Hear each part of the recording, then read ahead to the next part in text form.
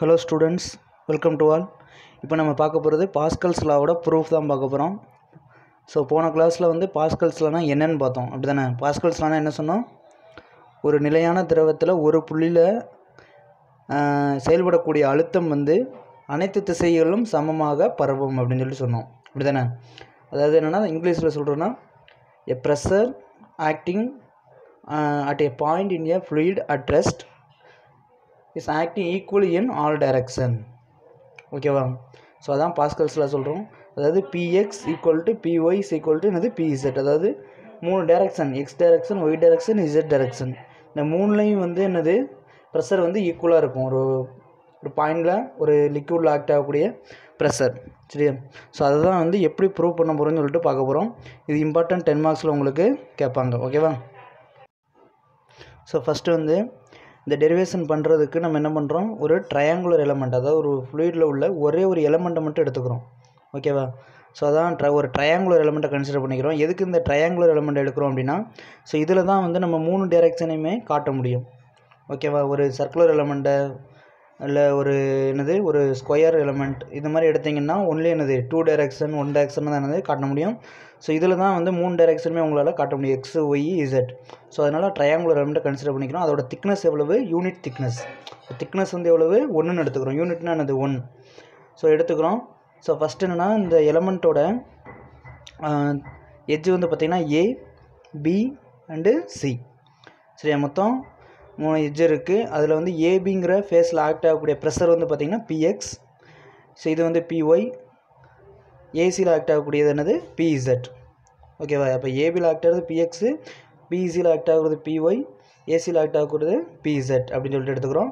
So இந்த ஏசிக்கும் பிசிக்கும் உள்ள angle வந்து எவ்வளவு? திட்டான்னு எடுத்துக்கிறோம். ஓகேவா ஸோ நெக்ஸ்ட் என்னென்னா ஸோ இதில் வந்து மொத்தம் ஒரு மூணு ஸ்டெப் தான் இருக்குது நல்லா கவனிச்சுங்க ஃபஸ்ட்டு ஸ்டெப் என்னென்னு பார்த்தீங்கன்னா pressure's equal to force by area அப்படி தானே ஃபோர்ஸை வந்து ப்ரெஷரை வந்து என்ன தான் எதாக மாற்றணும் ஃபோர்ஸாக மாற்றுறோம் அதான் வந்து என்னது? ஃபஸ்ட்டு ஸ்டெப் சரியா? இப்போ வந்து பார்த்தீங்கன்னா பிஎக்ஸ் பிஎக்ஸ் வந்து பார்த்திங்கன்னா எந்த ஃபோர்ஸ் இதில் ஆக்ட் ஆகுது? ஏபியில் ஆக்ட் ஆகுது. சரியா? இப்போ ஏபியில் ஆக்ட் ஆகுதுன்னா நம்மளுக்கு தெரியும் ஃபோர்ஸ் இஸ் ஈக்குவல் டு என்னது? Pressure into area pressure is equal to force by area force is equal to என்னது? ப்ரெஷர் இன்ட்டு ஏரியா இப்போ ஃபோர்ஸஸ் ஈக்குவல்னா இங்கே எஃப்எக்ஸ் கண்டுபிடிக்கணும் அப்படின்னா ஸோ அந்த பிஎக்ஸ் இன்ட்டு ப்ரெஷர் இன்ட்டு அது எந்த ஃபேஸில் ஆக்ட் ஆகுது? ஏபி சரியா? ஏபிங்கிறது என்னென்னா லென்த்து இன்ட்டு திக்னஸ் போட்டிங்கன்னா தான் அதோட ஏரியா கிடைக்கும். ஆனால் திக்னஸ் வந்து நம்ம என்னென்ன என்னென்ன எடுத்திருக்கோம்? ஒன்று எடுத்திருக்கோம். ஸோ அப்போ ஏபியை மட்டும் நம்ம எதை எடுத்துக்கலாம்? அதோட ஏரியாவாக எடுத்துக்கலாம். ஓகேவா ஸோ அப்போ FX equal to PX into AB so அப்போ ஃபஸ்ட்டு இதை வந்து மாற்றியாச்சு அடுத்து பிஒய்யாக மாற்ற போகிறோம் அதுக்கு என்ன வரும்? எஃப்ஒய்ஸ் ஈக்குவல் டு என்னது? FY is equal to PY into BC FZ is equal to PC into AC ஓகேவா எஃப்எக்ஸ் வந்து பிஎக்ஸ் இன்ட்டு ஏபி எஃப்ஐ வந்து பிஒய் இன்ட்டு பிசி எஃப்இசட் வந்து பிஇசட் இன்ட்டு என்னது? ஏசி ஏன்னா வந்து அந்தந்த ப்ரெஷரை வந்து ஃபோர்ஸாக மாற்றும் போது அது எந்த ஃபேஸில் ஆக்ட் ஆகுதோ அதோட ஏரியா போட்டிங்கன்னா இதாக மாறிடும். ஃபோர்ஸாக கன்வெர்ட் ஆகிடும் ஓகேவா ஸோ இப்போ வந்து ஃபோர்ஸாக மாற்றியாச்சு நெக்ஸ்ட்டு ஸ்டெப் என்னென்னு பார்த்தீங்கன்னா இந்த ஃபோர்ஸை வந்து அதே மாதிரி ஒரு டயக்ராம் வந்து வரைகிறீங்க ஓகே அந்த இங்கே வரைஞ்சிருக்கீங்கள ஸோ இந்த டயக்ராம் ஸோ இது வந்து பார்த்திங்கன்னா ஃபோர்ஸ் டயக்ராம் இது என்னது? ப்ரெஷர் டயக்ராம் இது வந்து ப்ரெஷர் டயக்ராம் இது ஃபோர்ஸ் டயக்ராம் ஓகேவா அப்போ இந்த ஃபோர்ஸ் டயக்ராமை வரைகிறீங்க ஸோ வரையும் போது பார்த்திங்கன்னா அதே மாதிரி எஃப்எக்ஸு இது என்னது? எஃப்ஒய் இது வந்து என்னது? எஃப்இசட் ஓகேவா இதில் வந்து எஃப்எக்ஸ் எஃப்ஒய் வந்து என்னென்னா ஹரிசாண்டல் அண்ட் வெர்டிக்கலாக உங்களுக்கு ஆக்ட் ஆகுது. ஆனால் இந்த எஃப்இசட் மட்டும் சர்டைன் ஆங்கிளில் வந்து உங்களுக்கு என்னது ஆக்ட் ஆகுது. சரியா? அப்போ நம்ம வந்து ரிசால்வ் பண்ணும்போது ஃபோர்ஸை வந்து ரிசால்வ் பண்ணுறது தான் செகண்ட் ஸ்டெப் ஹரிசானில் ரிசால்வ் பண்ணுறோம் தேர்ட் ஸ்டெப் என்னன்னா தி ஃபோர்ஸஸ் வெர்டி வெர்டிக்கலி சரி ரிசால்விங் தி ஃபோர்ஸஸ் வெர்டிக்கலி இப்போ ரிசால்வ் பண்ணும்போது பார்த்திங்கன்னா ஒன்லி ஹரிசானில் பண்ண முடியும் இல்லைனா வெர்டிக்கலாக பண்ண முடியும். அப்புறம் இந்த எஃப்இசட் வந்து என்னது ஹரிசானலாகவும் ஆக்ட் ஆகலை வெர்டிக்கலாகவும் ஆக்ட் ஆகலை என்ன இன்க்ளைண்டாக ஆக்ட் ஆகுது. அப்போ பண்ணும்போது அது ரெண்டு காம்பனண்ட்டாக நம்ம வந்து பிரிக்கிறோம். ஒன்று என்னது? ஹரிசான்டல் காம்பனண்ட் அதோட இது வந்து எவ்வளவு? எஃபிசட் சைன் தீட்டா இன்னொன்று வெர்டிக்கல் காம்பனண்ட் அதோட இது வந்து எவ்வளவு? எஃபிசட் காஸ் தீட்டா ஓகேவா அப்போ நம்ம இனிமேல் வந்து இந்த மெயின் ஃபோர்ஸ் எஃபிசட்டை எடுக்க தேவையில்லை ஒன்லி வந்து என்னது? இந்த காம்பனண்ட்டை மட்டும் கன்சிடர் பண்ணால் போதும். ஏன்னா இதான் வந்து நம்மளுக்கு ஹரிசனல் அண்டு வெர்டிக்கல் காம்பனண்ட் ஓகேவா அதே மாதிரி இந்த ஃபோர்ஸை ரிசால்வ் பண்ணும்போது நீங்கள் ஒரு கான்செப்ட் ஞாபகம் வச்சுக்கணும். என்னென்னா இந்த பார்த்துருக்கீங்களா இந்த ப்ளஸ் போட்டிருக்கோம்ல அதாவது இது வந்து கிராஃப் ஞாபகம் வச்சுக்கோங்க. இதில் ரைட் சைடு போகிறது எல்லாமே என்னது? பாசிட்டிவாக எடுப்போம். கிராஃபில் பார்த்தீங்கன்னா அது மேலே உள்ள வேல்யூஸ்லாம் என்னது? அப்போர்டு ஃபோர்ஸ்லாம் என்னது? பாசிட்டிவ் அதே மாதிரி லெஃப்ட் சைடும் டவுன்வர்டு ஃபோர்ஸ் எல்லாமே நெகட்டிவ் எடுக்கணும். இப்போ இந்த கான்செப்ட் படி தான் நம்ம என்ன பண்ண போகிறோம் இந்த இதை வந்து டெரைவ் பண்ண போகிறோம் ஓகேவா ஸோ ஃபஸ்ட்டு என்னது? ரிசால்விங் தி ஃபோர்ஸஸ் ஹரிசாண்டலி ஹரிசாண்டலினா ஃபஸ்ட்டு அதுக்கு என்ன ஃபார்முலா அப்படின்னு பார்த்தீங்கன்னா sigma FX equal to zero net force வந்து ஹரிசாண்டல் டைரக்ஷனில் ஜீரோ அப்படின்னு சொல்லிட்டு எடுத்துக்கிறோம். ஸோ அதான் வந்து அதோட கண்டிஷன் சரியா? ஹரிசாண்டலாக ரிசால்வ் பண்ணும்போது. ஸோ பார்த்தீங்கன்னா இதில் ஹரிசானில் என்ன இது என்னென்ன ஃபோர்ஸ் ஆக்ட் ஆகுது? எஃப்எக்ஸ் டுவர்ட்ஸ் என்னது? ரைட் ரைட்டில் தானே ஆக்ட் ஆகுது. ரைட் ரைட் வேர்டு டுவர்ட்ஸ் ரைட்னா உங்களுக்கு என்ன வரும்? பாசிட்டிவ் ஸோ அதான் எஃப்எக்ஸ் ப்ளஸில் போட்டிருக்கோம். அது மாதிரி எஃப்இசட் சைன் தீட்டா அது என்னது? லெஃப்ட்டு லெஃப்ட் டைரக்ஷன் சரியா? டுவர்ட்ஸ் லெஃப்ட்டு அப்படின்னா டுவர்ட்ஸ் லெஃப்ட்னா மைனஸ் எஃப்இசட் சைன் தீட்டா ஓகேவா ஈக்குவல் டு என்னது? வேறு எதுவும் ஃபோர்ஸ் செயல்படுதா? இல்லை. சரியா? அப்போ ஈக்குவல் டு என்னது? ஜீரோ போட்டாச்சு. அப்போ எஃப்எக்ஸ் ஈக்குவல் டு என்ன வரும்?